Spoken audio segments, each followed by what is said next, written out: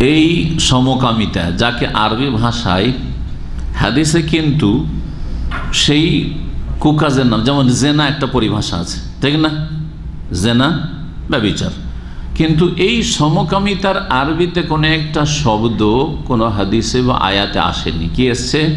আমাল ও কমে লুত এসছে। লুত আলি সালামের জাতি, অর্থাৎ কাফের জাতি। এই কাফের জাতির যেটি বজ্চরিত্র ছিল এই নামে এই কুকাজটি প্রসিদ্ধ হয়েছে এবং হাদিসে বর্ণিত হয়েছে। কারণ লুত আলী সাল্লামের এই কাফের জাতির পূর্বে মানব জাতির ইতিহাসে কেউ এই নোংরামিতে লিপ্ত হয়নি। কোরআনে কেরিমে এ কথার স্পষ্টভাবে সুরা আর আব্বা সুরায় আনকাবুতে রয়েছে, মা সাবা কাকুম বেহা মিন আহাদ মিনাল আলামিন।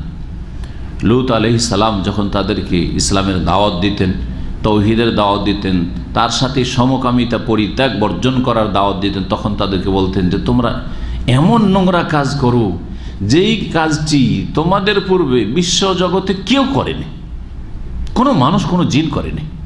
মা সাবাকা কুম্বেহা মিন আহাদিম মিন আল আলমিন। বিশ্ব জগতে এইরকম নোংরা কাজ তোমাদের পূর্বে আর কোনো মানুষ করে না কত খারাপ কাজ এরা শুরু করেছিল।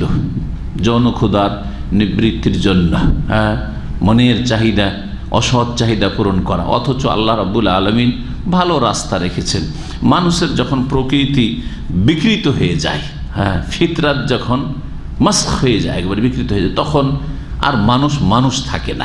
তখন ভালোটা তাকে ভালো লাগে না, খারাপটাই ভালো লাগে। ভালো ভালো লাগে না, খারাপই ভালো লাগে। স্ত্রী ভালো লাগে না, ও জেনা করতে ভালো লাগে।